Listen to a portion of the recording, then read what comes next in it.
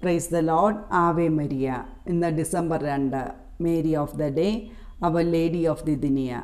ഞാൻ സുനി സജി. എല്ലാവർക്കും സ്വാഗതം. മുന്നൂറ്റി അറുപത്തി മൂന്നിൽ ടർക്കിയിലെ കപ്പദോക്കിയായിൽ സ്വമതത്യാഗിയായ ജൂലിയാൻ ചക്രവർത്തി ക്രൈസ്തവരെ വളരെയധികം പീഡിപ്പിച്ചിരുന്നു. ഒരിക്കൽ അവരെ ഉപദ്രവിക്കുവാൻ വരുന്നു എന്നറിഞ്ഞ് വിശുദ്ധ ബേസിൽ ഭയന്നിരുന്ന ജനങ്ങളുമായി മാതാവിന്റെ ദേവാലയത്തിൽ അഭയം പ്രാപിച്ചു.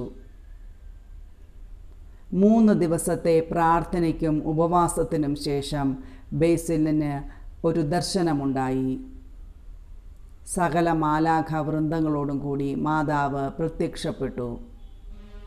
പോയി എന്റെ മകനെ പറ്റി ദൈവദൂഷണം പറയുന്നവരെ കൊന്നൊടുക്കുവാൻ വിശുദ്ധ മെർക്കുറിയെ വിളിക്കുക എന്ന് ഒരു അരു അരുൾപ്പാടുമുണ്ടായി. വിശുദ്ധ മെർക്കറി രക്തസാക്ഷിയായി ഇരുന്നൂറ്റി അൻപതിൽ മരിച്ചതാണ്. അദ്ദേഹം കപ്പദോക്കിയയിലെ വളരെ ശക്തനും ധീരനുമായ ഒരു പട്ടാള മേധാവിയായിരുന്നു. ബെർബേഴ്സിന്റെ സൈന്യം ആക്രമിക്കുവാൻ വന്നപ്പോൾ വിസ്ത മിഖായൽ മാലാഖ പ്രത്യക്ഷപ്പെടുകയും അദ്ദേഹത്തിന് ഒരു വാൾ നൽകുകയും ചെയ്തിരുന്നു. ആ വാൾ ഉപയോഗിച്ച് അന്ന് അദ്ദേഹം വിജയം വരിക്കുകയും ചെയ്തു. അന്യദേവനെ ആരാധിക്കുവാൻ വിസമ്മതിച്ചതിന് അദ്ദേഹത്തെ വർഷങ്ങൾക്ക് ശേഷം വധിക്കുകയാണുണ്ടായത്. മാതാവിന്റെ അരുൾപ്പാടിന് ശേഷം വിശുദ്ധ ബേസിലും കൂട്ടരും വിശുദ്ധ മെർക്കുറിയുടെ ദേവാലയത്തിൽ പ്രാർത്ഥിക്കുവാനായി എത്തി. പക്ഷേ അവിടെ എത്തിയപ്പോൾ അവിടെ സൂക്ഷിച്ചിരുന്ന വാൾ അപ്രത്യക്ഷമായിരുന്നു. പിറ്റേന്ന് പേർഷ്യയിൽ വെച്ച് ജൂലിയാൻ ചക്രവർത്തി കൊല്ലപ്പെട്ടു എന്ന വാർത്തയറിഞ്ഞു അവർ തിരിച്ച് വിശുദ്ധ മെർക്കുറിയുടെ ദേവാലയത്തിലെത്തിയപ്പോൾ രക്തത്തിൽ മുങ്ങിയ വാൾ അവിടെ കാണപ്പെട്ടു. പരിശുദ്ധ അമ്മയെ ആശ്രയിച്ചാൽ നാം വിജയം വരിക്കുക തന്നെ ചെയ്യും.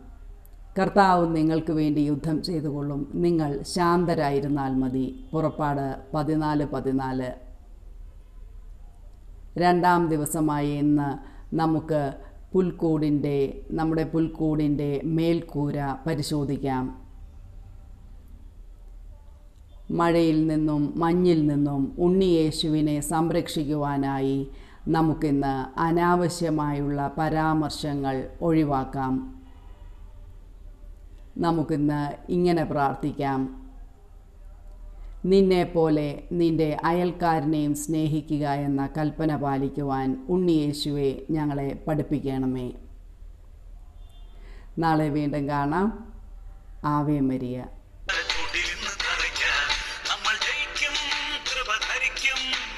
അമ്മയോട് കൂടെ ജ്വലിക്കും.